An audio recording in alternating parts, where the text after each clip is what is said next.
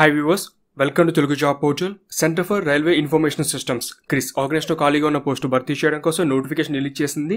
Application format online హైదరాబాద్లో job posting ఉంటుంది. Total one fifty vacancies భర్తీ చేస్తున్నారు ఈ యొక్క నోటిఫికేషన్ ద్వారా. ముఖ్యంగా SC ST PWBD all category women వీరికి అప్లికేషన్ ఫీజు నుండి మినహాయింపు ఉంది. సో ఆసక్తి వారు అప్లై చేసుకోండి. డిస్క్రిప్షన్లో నోటిఫికేషన్ ఆన్లైన్ అప్లికేషన్ లింక్ ఇచ్చాను. ఏ విధంగా అప్లై చేయాలి? ఎటువంటి డాక్యుమెంట్స్ కావాలి? సెలక్షన్ ప్రాసెస్ ఏ విధంగా ఉంటుందో పూర్తి సమాచారం ఇప్పుడు చూద్దాం. ముందుగా ఇంపార్టెంట్ డేట్స్. ఆన్లైన్ ద్వారా అప్లై చేయడానికి ట్వంటీ ఫోర్త్ మే వరకు సమయం ఉంది. Centre for railway information systems. CRIS అనేది ఒక autonomous organisation minister of railways అండర్లో ఉంటుంది. వీళ్ళు ఇండియాకి సంబంధించిన రైల్వే ఇన్ఫర్మేషన్ టెక్నాలజీ వీళ్ళు ఈ యొక్క అప్లికేషన్స్ అని వీళ్ళు డెవలప్ చేసి మేనేజ్ చేస్తూ ఉంటారు. ముఖ్యంగా పాసింజర్ రిజర్వేషన్ సిస్టమ్ కానీ ఫ్లైట్ ఆపరేషన్ ఇన్ఫర్మేషన్ సిస్టమ్స్ కానీ అన్రిజర్వ్డ్ టికెటింగ్ సిస్టమ్ కానీ వీళ్ళు డిజైన్ చేసి డెవలప్ చేసి మెయింటైన్ చేస్తూ ఉంటారు. ముఖ్యంగా ఇండియా సంబంధించి మెయిన్ హెడ్ ఆఫీస్తో పాటుగా డిఫరెంట్ ఏరియాస్లో ఉన్న ఆఫీసులో ఖాళీలను భర్తీ చేస్తున్నారు ఈ యొక్క నోటిఫికేషన్ ద్వారా. వేకెన్సీస్ అసిస్టెంట్ సాఫ్ట్వేర్ ఇంజనీర్ ఇందులో వన్ ఫార్టీ ఫోర్ వేకెన్సీస్ ఉన్నాయి. అసిస్టెంట్ డేటా అనలిస్ట్ ఇందులో six vacancies total one fifty vacancies twenty two నుంచి ట్వంటీ సెవెన్ వరకు ఏజ్ లిమిట్ అయితే ఉంది. ప్రతి ఒక్క కేటగిరీ పోస్టులు అయితే ఇవ్వడం జరిగింది. OBC non క్రిమిలేయర్కి three years SC ST five years age relaxation apply అవుతుంది. నెక్స్ట్ పే స్కేల్ ఈ విధంగా ఉంటుంది? Seventh CPC pay level ten అంటే ఇతర అలవెన్స్ అన్ని కలుపుకుంటే పెర్ మంత్ సిక్స్టీ థౌసండ్ వరకు మీకు శాలరీ అనేది వస్తుంది. నెక్స్ట్ ఎడ్యుకేషన్ క్వాలిఫికేషన్ ఇక్కడ టూ కేటగిరీస్ ఉంటాయి. ఒకటి ఎడ్యుకేషన్ క్వాలిఫికేషన్తో పాటుగా రిలవెంట్ డిసిప్లిన్లో ఎవరైతే గేట్ ఎగ్జామినేషన్ స్కోర్ కార్డ్ కలిగి ఉంటారో వారికి మాత్రమే నోటిఫికేషన్ ఎలిజిబిలిటీ ఉంది. ఎందుకంటే సెలక్షన్ అనేది త్రూ గేట్లో వచ్చిన మార్క్స్ ద్వారానే జరుగుతుంది. సో మీకు అవకాశం ఉంటే వచ్చే ఎగ్జామ్స్ రాని ట్రై చేయండి. మీరు డిగ్రీ అయినా లేకపోతే ఇంజనీరింగ్ అయినా పీజీ అయినా కూడా. ఎందుకంటే ఇటువంటి ఆర్గనైజేషన్స్ డైరెక్ట్గా మీకు ఎడ్యుకేషన్ క్వాలిఫికేషన్తో పాటుగా రెలివెంట్ డిసిప్లిన్లో గేట్ స్కోర్ ఉంటే డైరెక్ట్గా తీసుకుంటున్నాయి. Assistant software engineer computer science and engineering లేదా కంప్యూటర్ సైన్స్ కానీ కంప్యూటర్ టెక్నాలజీ కానీ ఇన్ఫర్మేషన్ టెక్నాలజీ కానీ లేదా computer science and information technology అవ్వచ్చు లేదా కంప్యూటర్ అప్లికేషన్స్లో మీరు బీఈ లేదా బీటెక్ కంప్లీట్ చేసి ఉండాలి. లేదా ఎంసీఏ కంప్లీట్ చేసిన అప్లై చేసుకోవచ్చు లేదంటే BSc computer science four years duration ఉన్న కోర్స్ కంప్లీట్ చేసిన ఎలిజిబిలిటీ ఉంది. సిక్స్టీ పర్సెంట్ వచ్చి ఉండాలి. ఒకవేళ ఎస్సీ ఎస్టీ పీడబ్ల్యూబీడీ అయ్యి ఉంటే ఫిఫ్టీ ఫైవ్ పర్సెంట్ ఉన్నా కూడా ఎలిజిబిలిటీ ఉంది. Next computer science and engineering మీరు ఎంఈ లేదా ఎంటెక్ కంప్లీట్ చేసినా కూడా అప్లై చేసుకోవచ్చు. కాకపోతే GATE two thousand twenty two computer science and information technology సంబంధించిన పేపర్ కోడ్ సిఎస్ పూర్తి చేసి ఉండాలి. ఎగ్జామినేషన్కి మీరు రాసి స్కోర్ కార్డ్ వస్తుంది కదా ఆ స్కోర్ కార్డ్ ఉంటేనే ఈ యొక్క నోటిఫికేషన్ అప్లై చేయడానికి ఎలిజిబిలిటీ ఉంది. Next assistant data analyst. BE లేదా బీటెక్ ఆర్ ఎంఏ లేదా ఎంటెక్ ఏ డిసిప్లిన్ పూర్తి చేసిన ఎలిజిబిలిటీ ఉంది? లేదా ఎంఎస్సీ మ్యాథ్స్ కానీ ఎంఎస్సీ స్టాట్స్ కానీ లేదా ఎంఎస్సీ ఆపరేషన్స్ రీసెర్చ్ కానీ ఎంఏ ఎకనామిక్స్ లేదా ఎంసీఏ కానీ four years duration BSc computer science engineering పూర్తి చేసినా కూడా అప్లై చేయవచ్చు.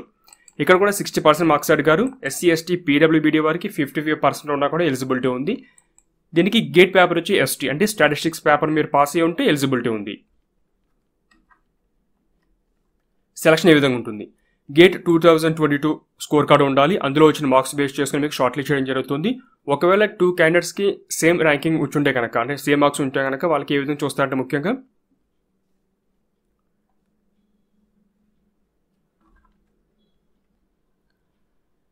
కొంతమంది స్కోర్ కార్డ్ అంతా ఫైనలైజ్ చేసేటప్పటికి సేమ్ మార్క్స్ వస్తే కనుక ఆల్ ఇండియా సంబంధించిన ర్యాంక్ అని తీసుకోవడం జరుగుతుంది. పరిగణలోకి వన్స్ ఆ ర్యాంక్ కూడా ఒకేలాగా ఉంటే కనుక మళ్ళీ డేట్ ఆఫ్ బర్త్ చూస్తారన్నమాట. ఎవరైతే ఎక్కువగా వయసు ఉంటుందో వాళ్ళకి ప్రయారిటీ ఉంటుంది.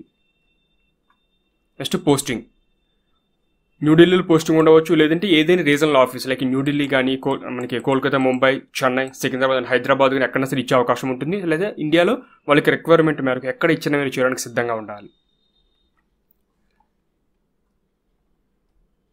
ఏ విధంగా అప్లై చేయాలి ఇది అఫీషియల్ వెబ్సైట్ ఇది కిస్ డాట్ ఆర్గ్ డాట్ ఇన్ ఇక వెబ్సైట్ లింక్ డిస్క్రిప్షన్లో ఇచ్చాను.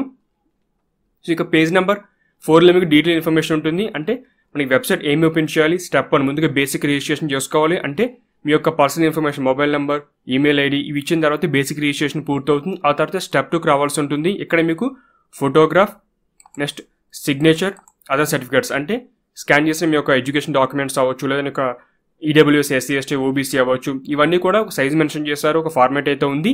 వీటి ప్రకారం మీరు ఆన్లైన్ అప్లోడ్ చేయాల్సి ఉంటుంది. నెక్స్ట్ ఫీజు పే చేయాల్సి ఉంటుంది.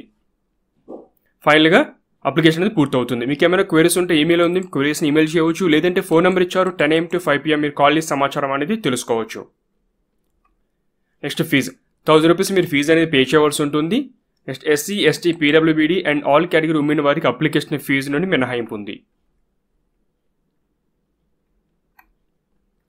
ఇది ఆన్లైన్ సంబంధించిన అప్లికేషన్ పోర్టల్ లింక్ క్లిక్ చేయని పేజ్ ఓపెన్ అవుతుంది. ఇక్కడ ఇంపార్టెంట్ డేట్స్ ఉంటాయి. తర్వాత ఇక్కడ మీ నోటిఫికేషన్ డౌన్లోడ్ చేసుకోవచ్చు కావాలంటే. ఏమేమి డాక్యుమెంట్స్ కావాలి వాటి యొక్క సైజు ఫార్మాట్ మొత్తం ఇన్ఫర్మేషన్ అయితే ఉంటుంది.